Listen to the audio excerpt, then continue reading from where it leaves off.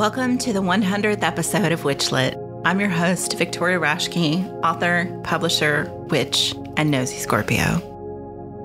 100 episodes. I was told early on you weren't a real podcast until you had six episodes, and here we are. Thank you to all the wonderful authors who've come on to share their experience and wisdom. Thank you to all the PR folks who sent those authors my way Thank you for trusting in our niche within a niche endeavor. Thank you to my partner, Kaifel, for supporting this from the get go and handling all the technical stuff, because I really don't shine at that part. Thank you to my son, Julian, for editing episodes, his lovely wife, Sue, for checking transcripts, our dear friend, Alexander, for the outro music, and most importantly, Thank all of you for listening and commenting and reviewing and following us on social media. A podcast can't be sustained in a vacuum, and we wouldn't be here without you. So here's to 100 more episodes of Witchlit. Witchlit is brought to you by Thousand Volt Press, a family owned independent publisher established to produce the books we want to see in the world. Titles including Changing Paths by Yvonne Aburrow, Conjuring the Commonplace by Laine Fuller and Cory Thomas Hutcheson, and my latest book, Verona Green, can be purchased directly from thousandvoltpress.com or wherever you buy books. Erika Buenaflor has a master's degree in religious studies with a focus on Mesoamerican shamanism from the University of California, Riverside. A practicing curandera for more than 20 years, descended from a long line of grandmother curanderas, she has studied with curanderex in Mexico, Peru, and Los Angeles, and gives presentations on curanderismo in many settings. The author of several books, including Cleansing Rites of the Curanderismo and her most recent book, Veneration Rites of the Curanderismo. Erika Buenaflor, welcome to Witchlit. Yeah, thank you for having me. I'm super excited about this. I am super excited to have you on. I've thoroughly enjoyed your book and I can't wait to talk to you about it and about writing. But our first question for everyone on the show is you know, especially in this kind of age of visual medium and social media and all that, why still write? Why still write books? it's a passion. It's a passion. And I feel that it's people need resources. People need resources because I mean, there's some of us that we like, it's like my books are like manuals. You know, it provides the resources and it's like the how to do the rites, how to do limpia rites, how to do the veneration rites. It's like the steps, the information, the history. It's you know, we need that still. Mm-hmm. We still need that. And like, and it's and it's compact in one resource, in one source where you can find everything in one little like beautiful nugget. I like that. I like that. Yeah. I mean, I think, you know, though we do get information from those other media, I think being able to sit with a book is still so different. Yes. Yes. It, yeah. Yeah. It's it's actually, yeah, it's it's a part of like and getting to know ourselves because we can connect into it when mm-hmm. we like are able to like sit and read for a couple hours, a few hours, we can just let ourselves really get enmeshed in mm-hmm. whatever it is that we're doing and we're reading rather than we just getting little snippets. Um, because then it's just fast. It's like very, very fast. And we don't really get to digest what we mm-hmm. are learning and what we are reading. Yeah. So your new book, do you want to tell us the title and and what it's about and why this book now? So, a veneration rites of curanderismo, invoking the sacred energy of our ancestors. So, why now? I feel right now it's it's something that it's it's very beautiful of of allowing ourselves to connect and identify ourselves with our ancestors in terms of our identity and and working with our ancestors for magic for connecting healing for different purposes and making our lives more amazing and just to feel rooted and grounded in whatever identities that we're being rooted and grounded in because there's a lot of us like you know back in you know back way back in the 80s when i first came to the states it was very much like expected like this melting pot. Like you didn't have like you you were you didn't carry your your your traditions. You didn't have those cultural traditions. You were just expected to just like melt in and be a part of the pot and now it's like a lot of us we're asking, like, wait a second, I want to know about my, you know, whether it's Mexican, whether it's Irish, whether it's African, whether it's what, you know, our, our, our we're, we're hungry for that because it's part of our identity. It's part of who we are and giving people practical tools to do that and beautiful tools in many different ways that feel aligned with us. So it just it just seemed like it's the flow of the time right now. Um, and so this is not your first book. It's my oh, fifth book. Is your fifth book, right? So I I from reading this one, I have not read your other books, but from reading this one, it's clear to me that this is like a succession of a conversation you're having in your work. Like that each of these kind of build on the previous one. So do you want to kind of talk about like your publishing journey and how you got started and like where where you're going with it, I guess? Sure. So this is my last book. Um, so it's it's technically it's six books because I have a guidebook for my mm-hmm. Mesoamerican Oracle card deck. So my my first book was really reintroducing cleansing. it's called Cleansing Rites of Curanderismo, mm-hmm. and it's reintroducing curanderismo. Because um, when I when I now you know especially in a lot of the Latinx communities like curanderismo, a lot of people are talking about it. People are talking about limpias and pláticas. When I first started talking about it, nobody was like, "What are limpias?" Oh yeah, that was something my grandmother did and i don't remember it was like it was it was something that like was almost getting forgotten about mm-hmm. you know um, and it was something that my great great grandmother was a very well known curandera, and my great grandmother she she healed with like cooking, and my grandmother went the restaurant so Western route in terms of becoming a nurse. So our traditions were kind of getting like lost. So it was in a sense of, and and there was this whole like um, thinking of like, well, curanderismo we don't know if it really came from the Spaniards or the indigenous. We don't know. It's just a mix of everything. And I was like, wait, wait a second, wait a second. No, we still have the codices. We still have the artwork. We still have a lot of information that we can root, you know, these traditions in our indigenous ancestors and, you know, understand where they're coming from, especially the fundamentals and see them. So that was my first book, inter- reintroducing it and tracing the history back to our indigenous ancestors. Mm. So it was, and, and my my books are really are our bridge.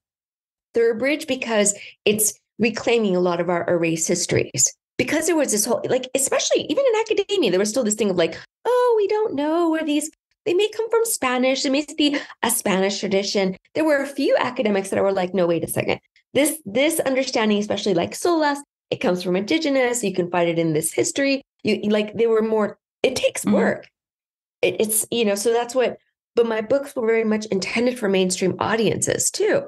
Because it's like because i mean yeah we have this information in academia but even in academia it's um it's not like it's not really nourished for the soul. Mm-hmm. yeah. It's very like dry like eating like crackers sometimes you know eh, so it's not it's not as fun. So i really was like bringing like bridging worlds with my first book cleansing mm-hmm. rites of curanderismo and then my second book was something that i was seeing a lot of is the our our soul loss. It's called curanderismo soul retrieval.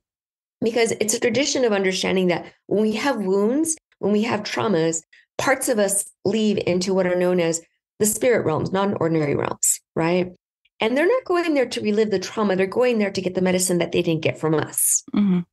You know, so we also have something to learn from those soul pieces too. Like, for example, if maybe someone didn't eh, had like a falling out with their their their father, they didn't have a good their mother daughter their mother and father didn't have a good relationship they got a divorce and maybe their father was out of the picture and there was some trauma around that in this other realm they may be in this other realm getting the medicine that they didn't get from their father you know, mm-hmm. or, and and they haven't stepped into that for themselves. So my second book talks a lot about these understandings of how how we get nourished with the cardinal spaces because there's medicine in there how we open up these realms these spirit realms to reconnect and welcome back these soul pieces while we're getting what's known as tonali soul energy mm-hmm. that's that's what we're welcoming back so it's this beautiful like understanding of like under, bringing in these weaving in these indigenous understanding of soul loss which is known as susto, and using it in practical ways that are very meaningful to us that anyone can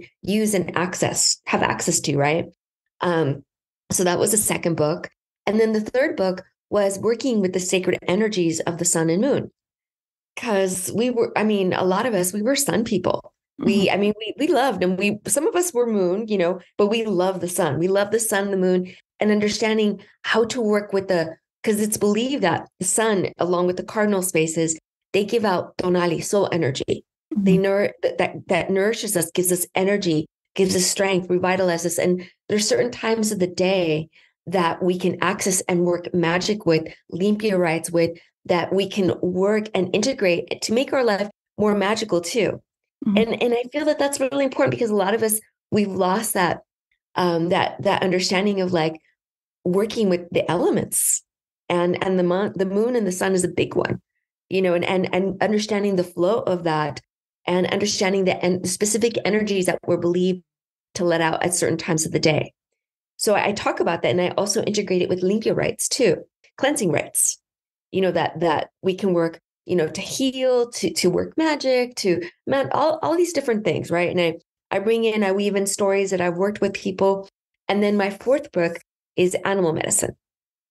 And it weaves in also the tradition of shapeshifting, because that's also really rooted in Mexico.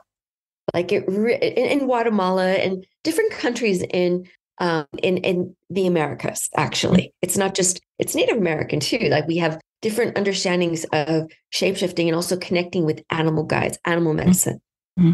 So it's like broken up to, to understanding how we connect. Because sometimes we need to get primal. Sometimes we need to connect with an animal and get that medicine and have it flowing with us and working with us. And also the understandings of how did the how did my ancestors view the medicines that different animals have the, the, the, animals that are discussed in the medicine. So it's a two part. That's one it's discuss of how to connect with animal guides, and then the sex. The second part is seventy six animals that are discussed, and the animals they had the views and how to work with them, and um and then the next one, the fifth one, is my guidebook for the Mesoamerican Oracle cards.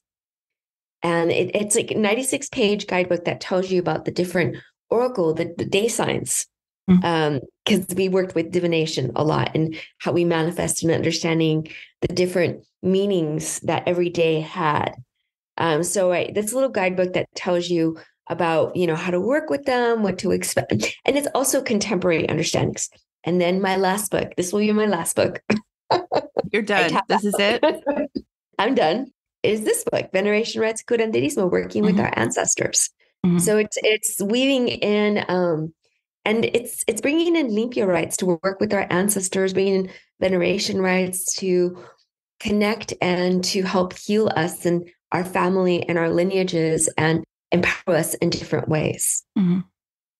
it's so interesting because just having you kind of lay out that arc of those books like you really see now I, I really see even more that like this is really like a culmination in a lot of ways of that of that arc which is fascinating. And I, one of the things I loved in your book, and I think I underlined it too, I marked the page that um, you know, in order to have these conversations about like reclaimed practices, that you really have to bring the personal experience and academic together.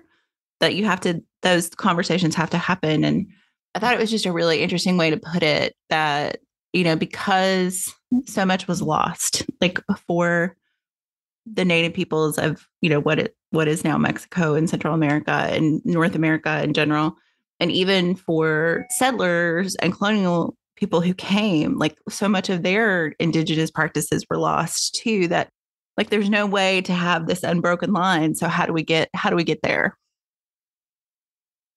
yeah uh, is that yeah it's i mean yeah. it's it's one of the, yeah it's it's and that's what i say is like weaving in those because I, I i talk about very vulnerable sides mm-hmm. of decolonization because that's that's you know bringing that in and mm-hmm. and reclaiming ourselves it's like saying okay this is um reclaiming our agency because that's essentially what it is and that's how i define mm-hmm. decolonization mm-hmm. is reclaiming our agency for identity and bringing in the like the, the spiritual practices of our ancestors and then like bringing it into our day-to-day life and having it make sense to us mm-hmm. So all those bringing all those conversations into dialogue with one another is very important. Hmm. Did you find when you were doing research for your books and just like in your own academic studies, I, I, I can't imagine. I mean, I can, but I don't know that it's a good imagining necessarily of coming across these things and like having those aha moments in, in a very spiritual way about what you're learning in a context that's not really for that. Like, what was that like? Like, just doing that research and kind of having those aha moments about your own personal practice and knowing in this context of academia, I guess? well, I think it's it's one of those things that you know when I when I went back to school, when I went back to school, I was I was already older. You know, I wasn't a young buck. Mm-hmm.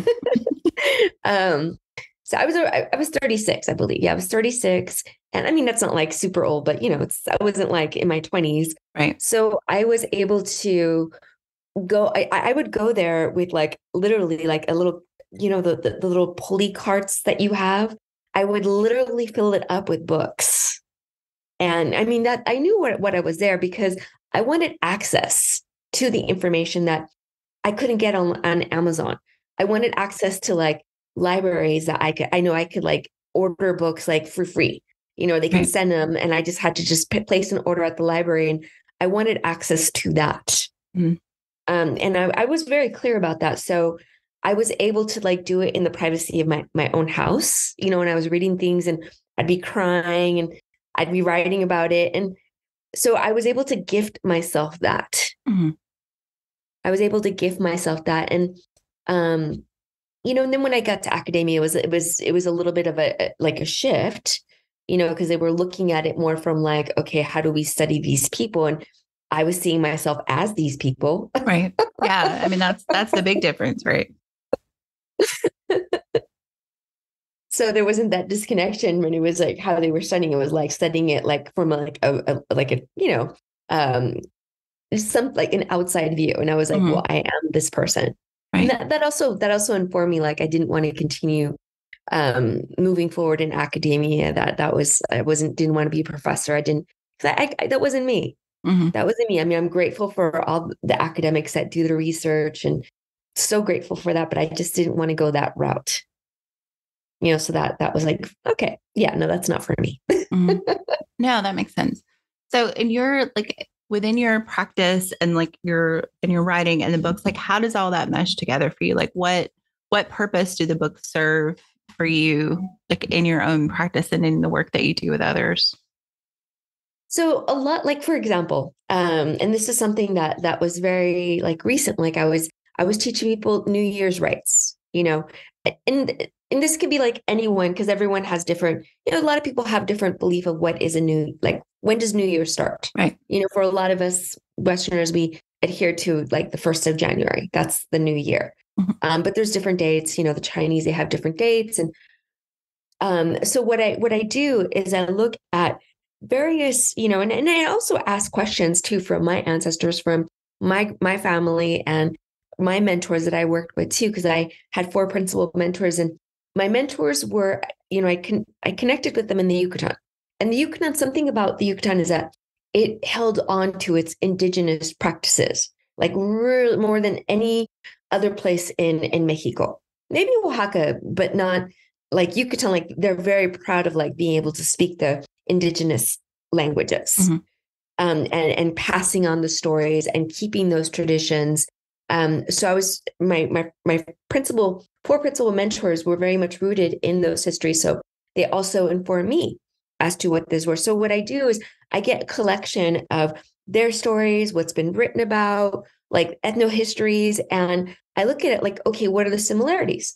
So, for example, for the new year, one of the things that I, I realized, and it's still done to this day, is what a lot of folks do is they clean their house and they usually clean it. They put it with like they infuse it with either um, orange or lemon blossoms or lemongrass tea or Florida water. You know, a different like concentration of tea. And I have a recipe too in Veneration Rites mm-hmm. of curanderismo to cleanse. Right. So they first clean it, but they, they the cleaner that they use, they infuse it with with um, a cleansing solution. You know, something that cleanses the energy of the space. So they cleanse it first, and then afterwards they they cleanse it, continue cleansing the space with smoke, which is known in Spanish as a sahumerio. That's a charcoal tablet. It can have different resins, they have different plants, and they go around in the four corners of every room and they spread the smoke everywhere. And that that cleanses it, right? And then they go and they they clean out stuff. They clean out stuff that had the energy of the prior cycle or the prior year. And that could be a lot of a lot of families what they do especially in the Yucatan is they they um they they get rid or they they they put it they, they put shards they put it in this ancestral shrine mm-hmm. and um what they used to make maize maize um corn you know, for the family. So a you cooking utensil cooking ware that they feed the family or they maybe dishes and they put it there and that's what that's that's what they get rid of, right? And they get a new a new one for the year for a new cycle. So it's some and there's different ofrendas offerings, right? For that new cycle. So it's something that nourishes the family. It's something that nourishes the new year. It's something that's it's it's an offering and it's also what's known in it's it's a bawatsli. It's a rite. It's a part of what we use to nourish our family, ourselves. It can also be a feather fan. Mm-hmm. So we get something, an offering for that year, an offering, and then on the day, on the start of that new year, we light a fire. This can be a candle, this could be a white fire limpia, but it's a fire that brings to life that new year. And all of the stories that I looked at, they all have that pattern. So that's what I look at. I look at like so many different stories and I say, what are the common elements to reclaim something? What do they look at? How are mm-hmm. they seeing? How, how are they seeing an ofrenda for the new year? What are the meanings behind that? And so it's like taking that in and like making sure that we keep those traditions alive. Mm-hmm. I love I love the kind of description of that. And it made me think about one of the things in your book that really stood out to me is this idea of because we don't have um like an unbroken practice with all of the pieces that there is this kind of combination of like other things that came obviously through colonization christianity and and all of those that to kind of like people have filled in the gaps with those and you use a term nepantla is that right the, yes. this kind of blended blended practice and i think that's probably what people see from the outside, I think. Yes, it's it's Nepantla is known as a liminal space. Mm-hmm. It's ambiguous, right? Because it's it's not it's in in between space, and it's it's a space that was very much recognized in indigenous. It was there was always an in between space. Everything was always in flux and changing. There was mm-hmm. liminality. Whereas Westerners, we want so much to be like, oh no, that's just a ritual. That's not. That's you know, change is something that happens maybe in certain spots, but change is a constant.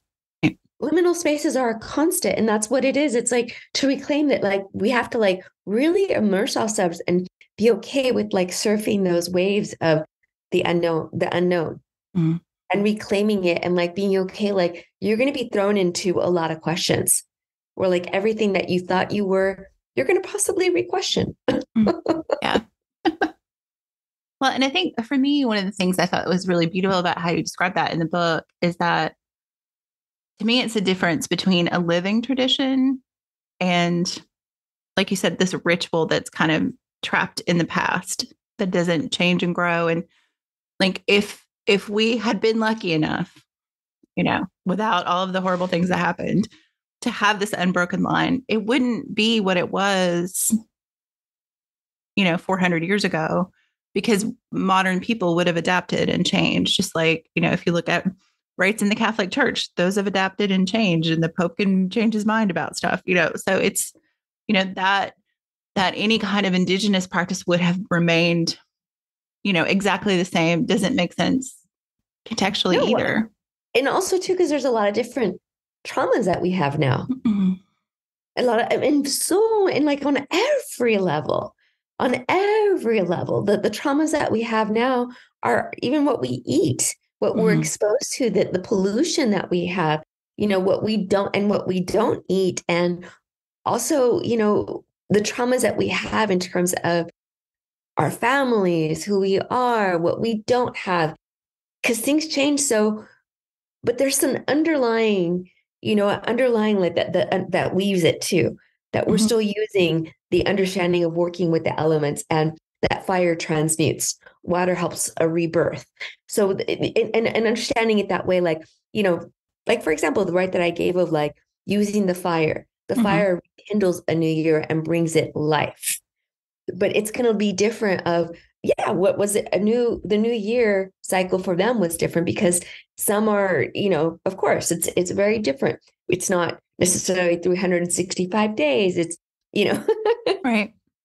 So it's going to be different in that way. But what the elements and like where where do we find those nuggets of you know underlying like undergirding like that keep those residuals that we can look at that and say okay what did that mean and how do we connect with it but how do we use it in a way that makes sense to us today? Because mm-hmm. it's going to be different. Yeah.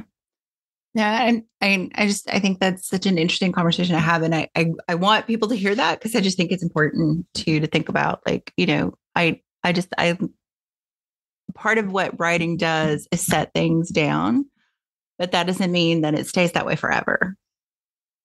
Yeah yeah no it it it, it is it's it's keeping records mm-hmm. keeping records and I, i'm fairly sure that like i've been a record keeper for many lives yeah. just because i love history i love researching it i'm one of those uh, people that like and i, I feel like that's always been a passion of mine mm-hmm. yeah i'm convinced i was a scribe yeah. in a previous life yeah at least one at least once i think i was a scribe um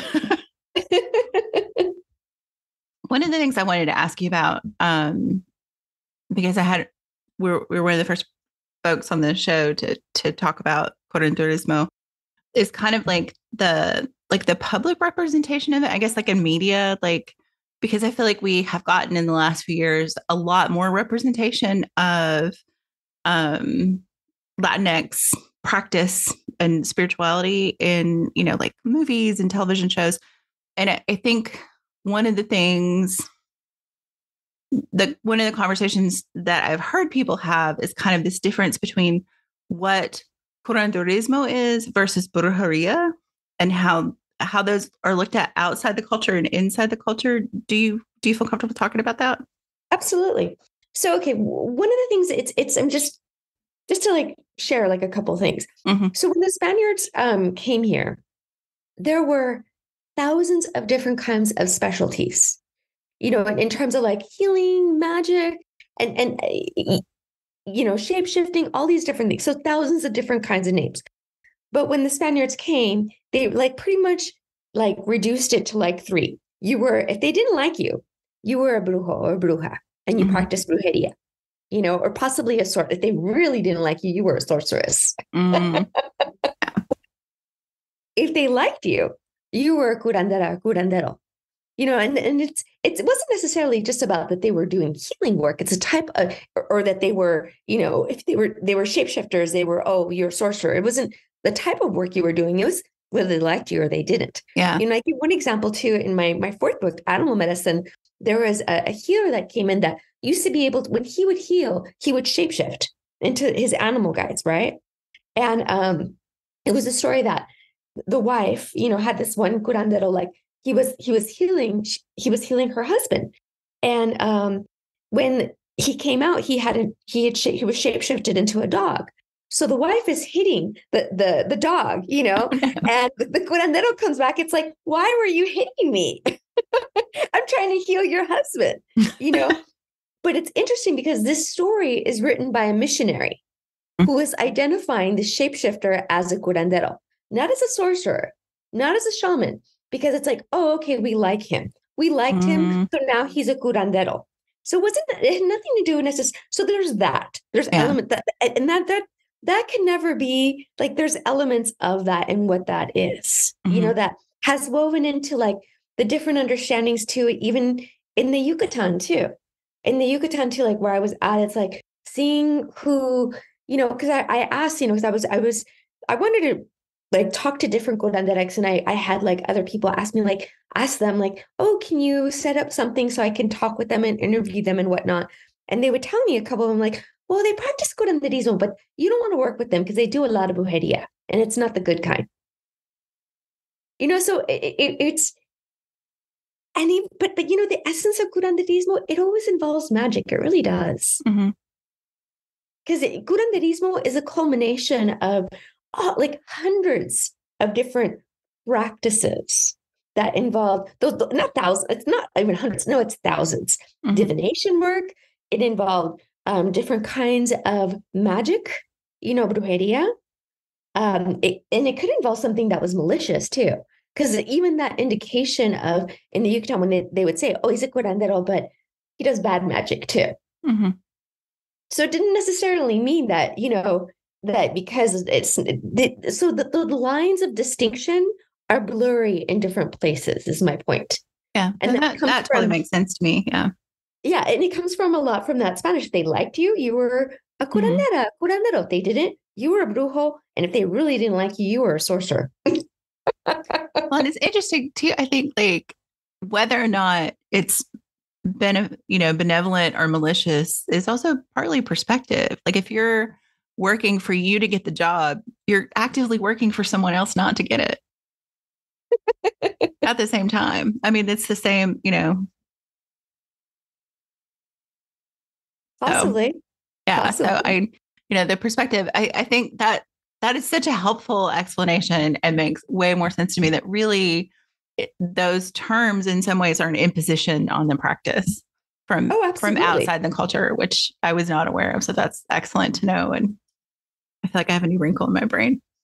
well, it was it was I mean that was a really good example when I asked them too. It's like, oh, can you set up because I wanted to talk to different because mm-hmm. I wanted to continue, you know, like getting the history and like those practices and and I, and also getting my own knowledge too and mm-hmm. sharing it and documenting it. But you know, hearing from a lot like, oh, but you don't want to talk to them. They do a lot of bad, bad magic. but nonetheless, they were curanderos or curanderas. Mm. Yeah. But that's also different too. Like in different parts of Mexico, they would be a yerbero that would work with plants. But they're healing that like it's it's just who you're talking to and where, but the connotations could change. So it's always good to ask people, what do you mean by that? Mm, yeah. Yeah. in so many ways, it's always good to ask people, what do you mean by that? it's a good practice across the board, I think. Yeah. Uh, so I guess one of the other questions I wanted to ask you, and this may be, I don't know, I um, I mean, I always ask people like who they see their audience as, you know, when they're writing. But I think, you know, as a, white person, you know, as a European descent white person, like reading about curanderismo or you know, hoodoo or conjure, like all of these different practices that have seeped in or were stolen, you know, let's be honest, by, you know, settlers and and and people who came as um, colonizers. What, you know, like I feel like it's important to read about these practices. I always feel like it's important for me to do them. Like that's not, you know, that's a whole different kettle of fish. But I feel like you know, supporting authors who are writing about this and reading about it and knowledge are important. But as as the you know as the author of these books like who do you see your audiences and who do you see benefiting i guess from the work that you're doing well i mean i, I feel like a big part of the audience are, are bipoc folks mm-hmm. a big part of it i mean i'll just be honest yeah. it's it's it's curanderismo that's who's gonna like oh i remember this yeah um, because I do say it's it's not just for us, and it is for us. Mm-hmm. Yeah. and at the same time, it's also meant for everybody too. Because and like a lot of a lot of what can be used in terms of you know going within the heart and like getting pictures like the very practical step by step can be used for anyone that wants to reconnect with like maybe an irish or Nor- norwegian or someone you know, different or Arabic or you name it. Mm-hmm. You know, with their, you know, different different traditions that can be used, like these different steps to connect to an ancestor. Mm-hmm. Because a lot of us, we we have lost, we have been, we have been um the agency of who we are and reclaiming it. We're now like, oh, what is that again? What it, who who am I? Like, oh, mm-hmm. let, let me let me go figure that out. Like we're asking those questions. So I, I, feel that it could be used for anyone, and I feel like a mm big core of it is is BIPOC. Right. Uh, and I, I, feel like you know, it, at least in like the United States, like in this, and you know, North America, and, and largely, but there is such a multicultural experience for most people. Like even people who come, like you did as an immigrant, as a child, like you said, you came into this culture that you were supposed to be a melting pot, right? You needed to learn how to speak English you went to school and you ate the same peanut butter and jelly sandwiches that all the other kids ate you know like it that was the the vision or whatever um but that isn't how we live like you're right that's not how we live at home like you know if you come as an immigrant family you will continue some of those food ways and cult- and rituals and all of those things but you still have this multicultural experience as an american i guess depending on our a U.S. citizen. American is kind of fraught, I guess, in that context. but it's um, I don't know. It's it's fascinating to me, and I've talked to other people via Hedera on the show about kind of this, you know, multicultural experience and what that means. And um, I think you know that con- that conversation with the conversation about appropriation and appreciation and how all that goes together like do you think about that like in terms of like who you work with and kind of how you share information? So one of the things that um and i and i distinguish that too and, and something very important culture the, the development of cultures welcome to appropriation. Yeah. yeah welcome to appropriation mm-hmm. any culture any culture any culture you know even in indigenous and i had a story of that the mexica there was appropriation there with the Teotihuacan, the Toltecs. They were they came in as as foreigners. Then there is misappropriation, the taking of and I, I define those things too. Mm-hmm. Then there's reappropriation, the misappropriation being the taking of you know usually BIPOC our our histories um, without any kind of recognition. You know, just the stealing, mm-hmm. essentially the stealing of that, right? Yeah. Or just disregard of who we are. And then there's a reappropriation, which is very much what has been happening. It happened a lot too early, like 1990, 2000, 2010, with a lot of indigenous folks that were reappropriating their identities and telling you, okay, we're going to tell you what these things are. You've mm-hmm. been putting labels on us. We're going to take that label, but we're going to tell you what that means. Yeah. so th- there needs to be that understanding that that's that is because what I have seen is that a lot of folks who have been scared to for different reasons, like scared about like, oh, my appropriating. I'm like, that is culture. And it, that like that is culture. Like tell me a mm-hmm. cult- culture that hasn't, you know, but then there is misappropriation, the taking yeah. of that. Yeah. Right. The taking of that because there's a sharing. There's a sharing of it. And and I get it because there's all these things of a lot of people, especially a lot of the youth of Latinx, like being scared of reclaiming their indigeneity. Do they have that right? And that wasn't a question when I was out, you know, and I was because I started this too very much in social justice and, mm-hmm. um, you know, my earlier years being out there, like we didn't cross the border, the border crossed us. And, you know, I'm indigenous, like my blood is red. Like, but now that's not the case. That's not the case, like moving forward, because and I, and I feel that's very much a cultural um, colonization that has been like very insidious in there. Mm-hmm. Like, yeah. do you have that right? Do you have that right? Because then there's a disconnect with a lot of younger folks feeling disconnected to their indigenous roots. Right. Right. Because when I was, I, I was very much involved when I was younger in, you know, the Zapatista movement, the Maya movement, because I felt connected to that and I felt connected to my indigenous roots. But a lot of folks don't even feel like, oh, can I even practice this? Is this even my right? Much less are they going to ask, are they going to get involved in the struggles of the indigenous struggles that are still, you know, happening to this day? Mm-hmm. So it's it's it's something that needs to be just looked at like very um critically, you know, and, and like a lot of questions need to be asked, like, what? How does this? Who does this benefit? me being afraid of reclaiming these things and am i claiming it reclaiming it am i connecting it in a way that is with integrity and honor and respect. Mm-hmm. Yeah. Oh, you know? I feel like that could be a whole podcast all by itself.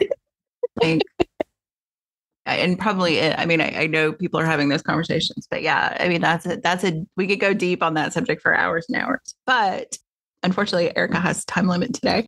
So I want to make sure we honor her time, but I would also love to talk to you for hours. so, um, so, Thank you. Yeah. So before we get to kind of our game of chance question at the end, I wanted to give you an opportunity to talk about like where people can find you if they want to know more about what your your work that you're doing with clients, things like that. Or if you have an events coming up, and like I said, this will air the first of March. So kind of gives you an idea of when to talk about. Mm-hmm. So in um, let's see, they can definitely find me at realizeyourbliss.com. And on the events, I have class, I have all my events are in person and online. Mm-hmm. So you can watch it and there's a recording. So awesome. even if you can't watch it right then, you have like two weeks to watch it, rewatch it if you come in person. So just I've, I've tried to make be very accessible in that way. Um, and in March, we're going to be doing the soul retrieval series. you know, to, to reclaiming, to going into and, and understanding and connecting to those parts of ourselves of what medicine do we need to reclaim our soul pieces mm-hmm. Um, from traumas and wounds and different things like that. Um, and there's two classes that I have then too. And in March, I think I'll still be doing the animal medicine class, mm-hmm. and then there'll be a, a new series too. But um, realizeyourbliss.com, you can find all the events there. Um, and I, I highly recommend the book to people. I, I, I, it was a lovely read. Like you have this great conversational tone, but the thing I really enjoyed about it, like I said, was that here are the academic pieces. Here's kind of what this looks like in practice, and here's actually a recipe how to make your own Florida water. Like it is from the academic to the everyday practical. It, it was just lovely, and it's a great recipe for Florida water if people need one. By the way, it's not. I've seen some that are so complicated to make. It is just a really easy way to do it. So it was nice to have that. It was like, oh, this is wonderful. so, Thank you. So our last question for everybody is a little bit of a game of chance, um, mostly because I joked that part of the reason I made a podcast was so I could talk about stuff we're not supposed to talk about. My Scorpio nature, I guess. so um, I'm going to roll a die. And depending on what number I roll, you'll get a question about death, sex, religion, politics, or money. And if I roll a six, you get to pick which one you want. And, um, you know, if you get one you don't want, you can pass because we don't really have a lot of rules. So, two, sex. Juicy topic. All right. All right. Um, so I guess one of the things I was thinking about, like in context of the work that you do, like in in the healing work that you do, is so many people have hangups about their bodies and sex and just, you know, being a physical person in the world so if someone came to you and just said, Hey, I just want to figure out how to have a better relationship with myself, where would you start them? Like to to kind of reclaim their sensual physical self? So actually, I had this conversation last week with um, two women. I've had it with men too. I've had it with men as well. Um, and, it, and it was it was this one lady. Uh, she purchased a Curanderismo hybrid session, and we were talking about everything, you know, that that a lot of things that she had a lot of questions on. And one of them was um, a healing because with her ex husband, um, she stopped enjoying sex. It was mm-hmm. horrible. It was a horrible experience, and she just it was 26 years of that. Oh, yeah. So there was yeah. Uh, so there was definitely a soul loss from that, and we did some some work around that. But one of the things that I, I talked to her about, and this is actually in one of the codices too, that they talk about soul loss with and how to work um, how that can actually happen by extending it's it's a little bit tantric in nature but we have it in indigenous of like how to work with orgasms to bringing that energy in mm-hmm. so I, I i advised her i'm like one of her homework was you know get a really nice vibrator and one of the things that i had her do was have her inhale the orgasm to all of her energy centers and and actually you know i asked her like what's your mantra like what do you would like focus on something that you're going to be doing because it's bringing that energy and feeling comfortable with your sexual energy. Mm-hmm. Like to reclaim your sexual energy, that's a that's a really important part of this soul loss of feeling comfortable with your sensuality and sexuality. And there was another lady, for example, that I worked with is that also had um, where she was having issues where, and this is two in the same week. It was um, so maybe maybe there was they, everything was like knew that you were going to ask this question. Yeah, really. That's and they wanted to give me some some like experiences that I can talk about. One lady was um, it, she was having when she would think about sex or like after the, the act of it, she would actually like throw up. Oh, like wow. it was yeah, yeah, there was like a really strong, strong revulsion. You know, she was molested. So one of the things that I, I recommended her for her to do was when she does baños, because she works a lot with water, um, is to start caressing herself and it started out gently with like her cheeks, like to talk to her cheeks, and then her arms, and then to start working with her breast and start, but like slowly, you know, mm-hmm. like to be comfortable with her energy and like really start with her sensuality first and mm-hmm. then her sexuality. So I, I, feel that that's it's very much it's it's important, and I've had that conversation with men too. Yeah, uh, you know, it's it's but it just so happened that I thought about these things today those two sessions happened last week. Mm-hmm. yeah, there definitely seems to be some synchronicity. Um, but I think about like that, you know, even like in terms of, of people who identify as asexual, like there's still a connection to your mm-hmm. own body. Like being in your own skin has so much power in a way that I think, you know, with you know, our culture, like our beauty culture, our mm-hmm. youth culture, all of this stuff kind of takes that away, especially for women. But I agree with you. Like, I think men are more and more impacted by that just because there is so much visual media telling them that their bodies are wrong too, you you know. So I think that that ability to have something to kind of just bring you back into yourself is so important. Yeah, well, um, with men, I worked with men, for example, that have like porn addictions. Mm-hmm that are are really you know what is so what is that that that need for primal because mm-hmm. there's this this dantica, this like oh you know conquer conquest thing and having them connect in different ways with their animal instinct with the animal guide and getting primal in different kinds of expressions mm-hmm. so that's what i i help them do is like a shape shifting to connect with the animal and bring that in so they don't feel like they need to feed off of it from someone else but they can be in that energy oh wow yeah. So I mean, it's, it's like there's mm-hmm. different expressions that I I work with people in a lot of different kinds of ways. yeah. Yeah, it's, it's fascinating I'm never, to me. I'm I'm never like shy, like, oh no, I can't do that. well, and I think, you know, I mean, I do think that's one thing about, you know, when you when you do work with other people as a healer, as a, you know, counselor, whatever, like, you know, you're opening up a space for them that you have to feel comfortable in too like because you know what you don't know what people are going to bring through that door i mean i think about it even with people who just like read tarot cards like what what are they bringing to your table you know yeah. when you do that yeah and, and i have a mentorship too and I, and I tell people like you have to decide early on what you're not going to work with mm-hmm. and you have to like ask yourself those questions so you can redirect that person and be a better service to yourself and to the other person you know, like what are the things that are like not okay? Because there are going to be some things that are not okay with us. You know, and, and and if we work with those things that are not okay with us, that could that could cause injury to us. Mm-hmm. So we have to we have to like ask ourselves, what are we okay with? What are we not okay with? And yeah, absolutely. Absolutely. And and if we're okay with it, we're okay with it. We roll with it. um, oh, Erika, thank you so much. This has been such a wonderful conversation. And like I said, I really like um I really we could do this, I think, for a couple more hours. Like I just really enjoyed talking with you and and just your perspective on things. Thank you so much for your time. Thank you, Victoria. Thank you so much for having me. I really appreciate it. Witchlit is a production of Thousand Volt Press and is edited by Julian Raschke. Our intro music is Cosmic Glow by Andrew Kay, and our outro music is Voices by Alexander Shenekar.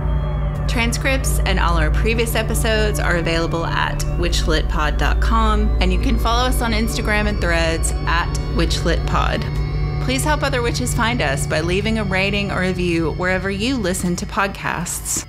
Thank you for listening to and reading Witchlit.